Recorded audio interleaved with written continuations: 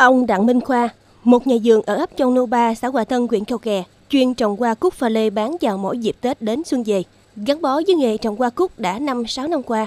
Với ông, trồng hoa bán Tết không chỉ là sinh kế, mà còn là nghề mang đến cho ông niềm vui, những giá trị tinh thần khi những chậu hoa mà ông vất vả cả năm, chăm bẩm, được người dân đón nhận, trang trọng, trưng bày trong nhà hay trước sân vào những ngày đầu năm mới. Thời điểm hiện nay, ông Khoa cùng hơn chục anh chị em lao động của gia đình đang tất bật tỉa nhánh, lặt bớt những chèo non, những bông hoa nhỏ dưới từng cành hoa cúc, để mỗi cành chỉ cho ra một bông hoa to nhất, nở đẹp nhất vào đúng dịp Tết. Năm nay thời tiết khá thuận lợi, thêm vào đó, kinh nghiệm mỗi năm trồng hoa được tích lũy nhiều hơn, nên khâu chăm sóc cũng thuận lợi hơn. Vườn cúc pha lê của gia đình ông Khoa rất đẹp, nụ to đồng đều, những nhánh cúc cứng cáp và xanh mướt.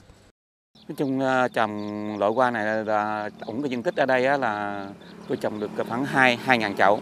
Mà thời tiết năm nay thì thấy nó cũng thuận lợi so với mọi, năm. Thấy nó cây nó phát triển cũng tốt, cũng ờ, như mọi năm chứ nó tốt hơn mọi năm. Nói chung thì ờ, cái cây bông nó xấu thì nó không phát triển được ờ, xum xê như thế này. Lá nó không được xanh hung, nó hơi vàng thì nó nó không nó không phát triển rồi năm nay cái thời tiết năm nay thấy nó cũng thuận lợi thì cái cây bông nó phát triển đều và đẹp mà đều hết trơn luôn lá xanh vậy đó nó cũng không có màu vàng Ờ, nhìn nhận biết được là cái cây bông năm nay nó phát triển đều. Thì thường thường á, khách hàng lái nó lợi lấy để mua đi để bán lại á, thì khoảng cỡ lối lối gầm âm lịch. Lối gầm âm lịch là người ta lợi người ta nhận rồi. Rồi còn một phần nào đó thì mình đem ra ngoài chợ thì bán thì khoảng 17, 18, 19, 20 vậy đó thì mình đem ra chợ mình để bán thêm. Dạ. Còn cái công việc từ đây tới đó thì ờ, thì trước mắt thì mình ờ, mình mình bẻ mấy cái bông nhỏ này để mình nuôi được cái bông này cho nó lớn lên để với mình chăm sóc tưới phân tưới nước vậy thôi với thịt sâu à. Hoa cúc có rất nhiều loại, nhưng phổ biến nhất là giống cúc vàng pha lê. Loại cúc pha lê này rất được chuộng mua vào những ngày Tết, không chỉ bởi màu vàng rực rỡ của nó mà còn là vì cái tên nghe có vẻ kiêu sa, quyền quý. Hoa cúc không khó trồng, nhưng kỹ thuật trồng để hoa nở đúng dịp Tết thì không dễ. Điều này phụ thuộc vào thời tiết và phần quan trọng quyết định là kỹ thuật chăm sóc của mỗi nhà vườn. Để có những chậu hoa cúc pha lê chi chít nụ, nở ra những bông hoa vàng rực vào ngày Tết, thì ông Khoa phải chuẩn bị ngay từ những tháng đầu năm. Đặt trước giống hoa từ Đà Lạt, chuẩn bị phân quai mục, chậu, thanh tre, phân bón. Tất cả các khâu đều phải chuẩn bị thật tỉ mỉ, vì nếu có sai sót hoặc sơ suất bất kỳ khâu nào cũng sẽ ảnh hưởng đến sự phát triển và chất lượng hoa mang ra thị trường, phục vụ nhu cầu mua sắm của người dân. Đầu năm thì mình chuẩn bị phân, chuẩn bị phân để mình ủ uh, cho cho nó được quay được ba được ba bốn tháng vậy đó, cho nó quay đầu năm mình phải chuẩn bị phân trước, phân để mình nặng mình vô nguyên liệu vô chậu á thì mình chuẩn bị trước rồi uh, giống á, nói chung là giống này mình lấy từ ngoài Đà Lạt á, mình uh, trước khi mình uh, ấy mình phải uh, đặt người ta trước khoảng 3 4 tháng mới có. Thành ra bây giờ như hôm nay là phải đặt người ta rồi, đặt giống rồi nhưng mà tới tháng 2 âm lịch năm năm sau á mới lấy. Dạ. Thì để đem về mình uh, mình mình trồng ra cho nó được nhiều cây để mà mình gầy ra mình trồng được số lượng lớn này chứ mà cái đó nhiều quá thì ờ, ít quá mình trồng ờ, nó không có đủ sức hết trên cái diện tích này.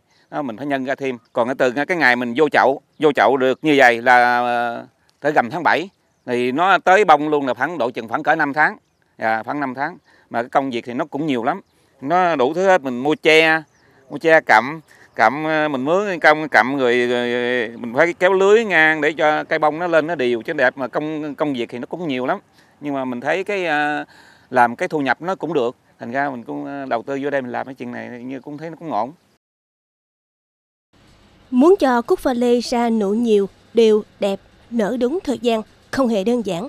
Bởi ngoài việc phải canh thời tiết nắng hay mưa ấm hay lạnh ẩm độ ông khoa phải tính toán lượng phân thuốc pha trộn lượng nước tưới hàng ngày. Bên cạnh phải theo dõi sát côn trùng, sâu bệnh gây hại nụ hoa. Ông Khoa còn canh cánh nỗi lo cây hoa bị vàng lá, thấp lùng, chậm phát triển. Làng nghề này cứ tưởng nông nhàn, nhưng kỳ thực cũng rất khó nhọc. Qua năm suốt tháng, gắn liền với cây giả đất, giải nắng dầm sương. Vất vả nhất là những tháng về cuối năm, khi cây hoa đã cho nụ đều, phải bảo vệ chăm sóc tỉ mẩn từng cái nụ hoa. Việc bấm nụ phải làm thường xuyên, tỉa bớt những nụ xung quanh nụ chính Mỗi tuần phải bơm thuốc một lần ngừa sâu bệnh, phải thường xuyên chăm sóc, theo dõi sát sao, bón phân định kỳ, ánh sáng hợp lý thì mới mong có được vụ hoa đẹp. đúng thời điểm. Trong thời gian chăm bón, chỉ cần sai kỹ thuật hoặc không chú trọng đến việc diệt nấm cũng ảnh hưởng rất lớn đến độ nở của hoa. Nếu thân cây lùn, thấp, chắc chắn bông nở nhỏ và nhanh tàn. Ngược lại thân cây cao, tốt, hoa nở to hơn, thời gian tàn lâu hơn và bán được giá hơn.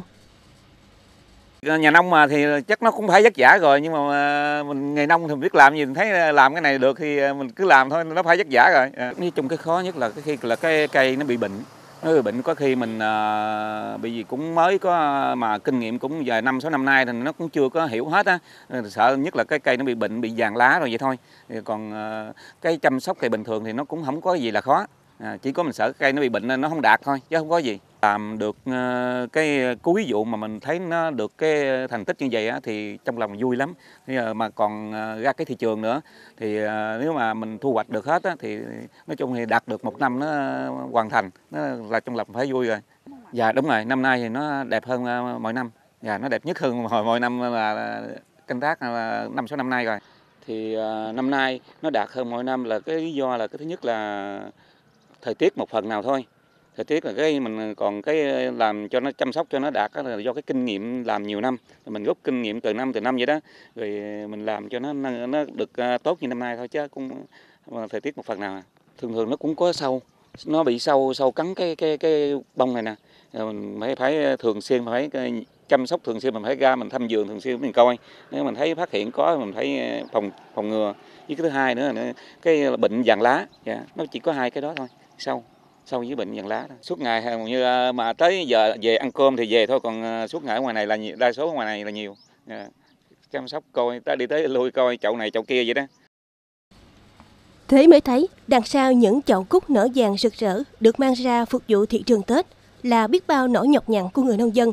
Có lẽ niềm vui và hạnh phúc lớn nhất của người trồng hoa là thấy những bông hoa khoe sắc, tô điểm thêm sắc màu vui tươi cho những ngày Tết cổ truyền của dân tộc. Và người trồng hoa sẽ vui hơn nếu vụ qua Tết trúng mùa, được giá, để có một cái Tết sung túc.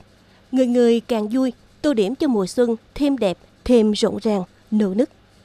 Cái mong muốn lớn nhất á, mình làm ra sản phẩm thì cái uh, bây giờ trồng số lượng nó cũng nhiều thì mình là mình tiêu thụ nó được hết mình uh, được uh, mà trước cái thời gian mình uh, ngày Tết á thì cái điều đó rất mừng rất vui thôi. Và mong muốn như vậy thôi chứ mình làm cái sản phẩm được thì mình phải là tiêu thụ cho nó hết. Thì năm nay thì uh, cái giá cả thấy nó cũng uh, được hơn mỗi năm khách hàng cũng gọi lại nhiều nhưng mà cái giá thì tôi lúc nào cũng bán năm nào nó cũng bằng những năm đó là mình trồng ra được nhiều một chút. Những năm trước đây, mỗi vụ Tết ông Khoa chỉ trồng vài trăm đến hơn 1.000 chậu. Năm nay ông tăng số lượng lên 2.000 chậu. Trong 2.000 chậu hoa cúc pha lê tại vườn nhà ông Khoa, thương lái đã đến đặt cọc gần 50% trên tổng số hoa tại vườn. Do cúc pha lê được trồng loại cỡ lớn, nên mỗi cặp cúc tại đây có giá trung bình dao động từ 1,5 đến 6 triệu đồng một cặp, tùy kích cỡ. Hiện tại các công đoạn chăm sóc đã hoàn tất, chỉ nhờ thương lái đến thu mua. Phần còn lại, gia đình ông sẽ mang đi bán lẻ ở các tỉnh lân cận. Tết Nguyên đáng đã gần kề, chúc cho ông Khoa và những nhà vườn trồng hoa Tết được thắng lợi trong vụ hoa Tết năm nay.